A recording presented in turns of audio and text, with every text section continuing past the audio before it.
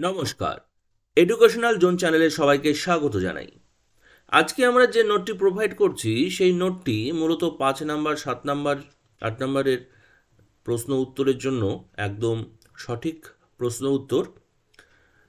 যে প্রশ্নটি নিয়ে আলোচনা করছি, সেই প্রশ্নটি হচ্ছে, পশ্চিম ভারতের পেট্রো রসায়ন শিল্পগুলির কেন্দ্রীয় ভবনের কারণগুলো আলোচনা করো। পশ্চিম ভারতেই অধিকতর পেট্রো রসায়ন শিল্পগুলো কেন দেখতে পাওয়া যায়? এই প্রশ্নটি আসলে আপনারা এই উত্তরটি লিখতে পারেন। ভারতের বিভিন্ন স্থানে অবস্থান করা পেট্রো রসায়ন শিল্প কেন্দ্রগুলোর বেশিরভাগই পশ্চিম ভারতে গড়ে উঠেছে। এর প্রধান কারণগুলো হল কাঁচামালের প্রাচুর্য। এই শিল্পের প্রধান কাঁচামাল ন্যাফথা অপরিশুদ্ধ অপরিশুদ্ধ খনিজ তেল শোধন করার সময় একটি উপজাত দ্রব্য হিসেবে ন্যাপথা পাওয়া যায়। পশ্চিম ভারতের গুজরাট, মহারাষ্ট্র রাজ্যে মোট পাঁচটি তৈল শোধনাগার গড়ে উঠেছে। এই শোধনাগার থেকে পাওয়া ন্যাপথা শিল্পের কাঁচামালের চাহিদা মেটায়। যেহেতু অ্যারাবিয়ান সিতে আমাদের মানে ভারতবর্ষের বেশিরভাগ তৈল শোধনাগার তৈল উৎপাদন কেন্দ্রগুলো আছে এবং সেখান থেকে তেল উত্তোলন করে অ্যারাবান, অ্যারাবিয়ান সির পার্শ্ববর্তী অঞ্চল গুজরাট, মহারাষ্ট্রের এইসব জায়গায় তৈল শোধনাগার তৈরি করা হয়েছে, সেহেতু সেই সব তৈল শোধনাগার থেকে আমরা ন্যাপথা উপজাত দ্রব্যটি পাচ্ছি। আর এই উপজাত দ্রব্যটা যেহেতু এই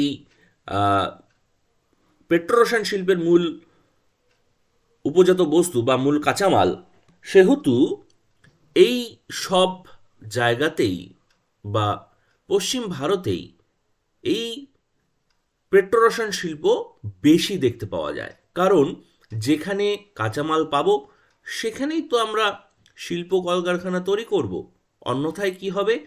আমাদের অন্য জায়গায়, দূরে যদি আমরা শিল্প কলকারখানা তৈরি করি, তাহলে এই ন্যাপথা এক জায়গার থেকে এক জায়গায় নিয়ে যাওয়ার যে পরিবহন খরচ, সেটি বেড়ে যাবে।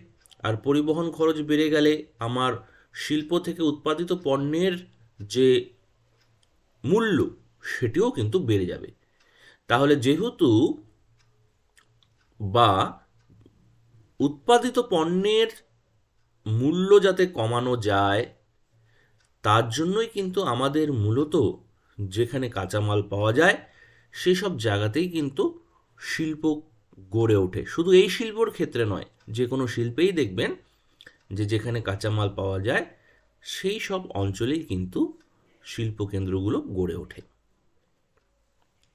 এছাড়াও পরিবহন ব্যবস্থা, পশ্চিম ভারতে রেলপথ, সড়কপথ, জলপথ, একটু আগে বললাম অ্যারাবিয়ান সি দিয়ে এক দেশ থেকে এক দেশে জলপথে কিন্তু অনায়াসেই মাল আদান প্রদান আমদানি রপ্তানি করা যায়। তাহলে রেলপথ, সড়কপথ তো আছেই, সঙ্গে পশ্চিম ভারতে কিন্তু জলপথটিও কিন্তু খুবই উন্নত। সেজন্য পশ্চিম ভারতে কিন্তু পেট্রোরসায়ন শিল্প গড়ে ওঠার সম্ভাবনা বেড়ে উঠেছে এর জন্যই। তিন নম্বর শ্রমিকের প্রাচুর্য। মধ্য ও পশ্চিম ভারত ঘন জনবসতিপূর্ণ হওয়ায় এই শিল্পের জন্য প্রয়োজনীয় সুলভ ও দক্ষ শ্রমিকের কোনো অভাব হয় না। চার নম্বর, মূলধনের প্রাচুর্য। পেট্রোরসায়ন শিল্প একটি মূলধন নিবিড় শিল্প।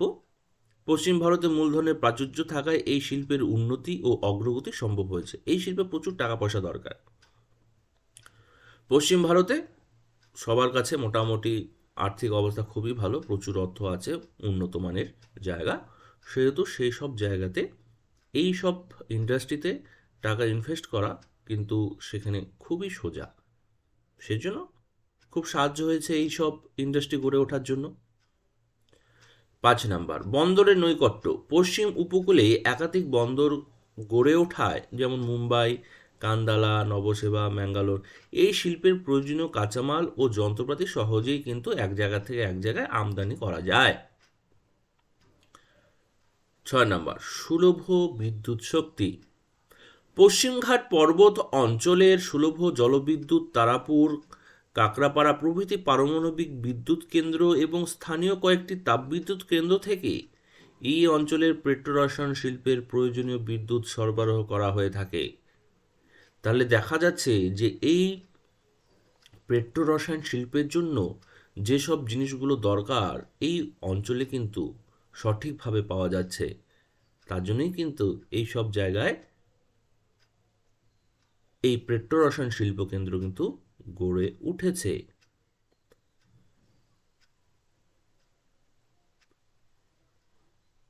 সাত নাম্বার, উন্নত পরিকাঠামো। পেট্রো রসায়ন শিল্পের সাথে অন্যান্য বহু শিল্প জড়িত থাকে বলে শিল্পে নানান প্রকার পরিকাঠামো এবং বিস্তৃত সমতল ভূমির প্রয়োজন হয়। মহারাষ্ট্র ও গুজরাট ভারতের অন্যতম প্রধান উন্নত রাজ্য হওয়ায় পরিকাঠামোগত দিক থেকে খুবই উন্নত। আজকে শেষ পয়েন্ট, আট নম্বর পয়েন্ট, চাহিদা বা বাজার। পেট্রো রসায়ন শিল্প থেকে বর্তমানকালের অত্যন্ত জনপ্রিয় ও প্রয়োজনীয় দ্রব্য উৎপন্ন হয়।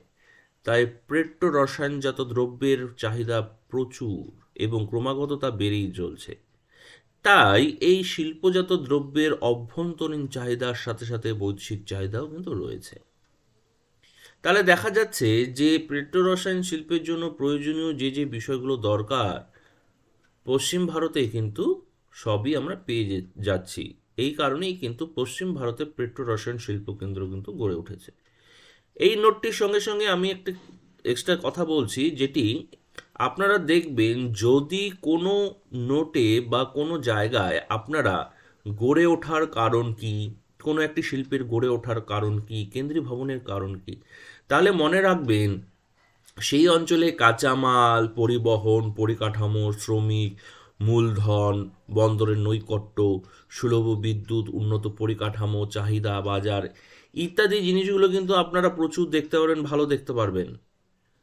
আপনারা এই নোটটির যে পয়েন্টগুলো আছে, পয়েন্টগুলো মনে রাখবেন, তাহলে অন্যান্য যে নোট যদি আসে, একই রকম কেন্দ্রীয় ভবনের কারণ, উন্নতির কারণ, তাহলে এই পয়েন্টগুলো কিন্তু লিখে আপনারা দেবেন। পয়েন্টগুলো বলছি, ভেতরের লেখাগুলো কিন্তু বদলাবে। আবার ঠিক অন্যভাবেই যে যেমন পশ্চিম ভারতে পেট্রো রসায়ন শিল্প কেন্দ্র কেন্দ্রগুলো গড়ে উঠেছে, আবার আসতে পারে যে অন্য একটি জায়গার কথা উল্লেখ করে বলতে পারে যে এই শিল্প এইখানে কেন গড়ে ওঠেনি। তাহলে কিন্তু এই পয়েন্টগুলো রিভার্স করে দিলেই কিন্তু হয়ে যাবে।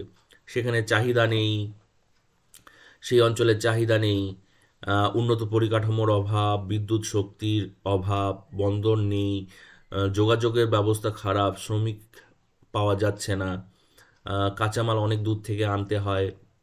এই সব উল্টোভাবে লিখে দিলেই কিন্তু আমাদের কোনো একটি জায়গায়, কোনো একটি শিল্পের অবনতির কারণ বা গড়ে ওঠেনি কেন, এই জিনিসটি কিন্তু তৈরি মানে সেই নোটটি কিন্তু তৈরি হয়ে যাবে। এগুলো মাথায় রাখতে হবে। ছোটো ছোটো জিনিস মাথায় রাখলে কিন্তু আপনারা খুব সহজেই একটা নোট ভালো মতো লিখতে পারবেন। তাহলে আশা রাখছি এই ভিডিওর যে এই নোটটি আপনারা বুঝতে পেরেছেন। যদি ভালো লাগে অবশ্যই এই ভিডিওটি সবাইকে শেয়ার করবেন আর চ্যানেলটি লাইক না করে থাকলে অবশ্যই চ্যানেলটিকে লাইক করবেন। তাহলে আজকে এখানেই শেষ করছি। সবাই ভালো থাকবেন, সুস্থ থাকবেন। ধন্যবাদ সবাইকে।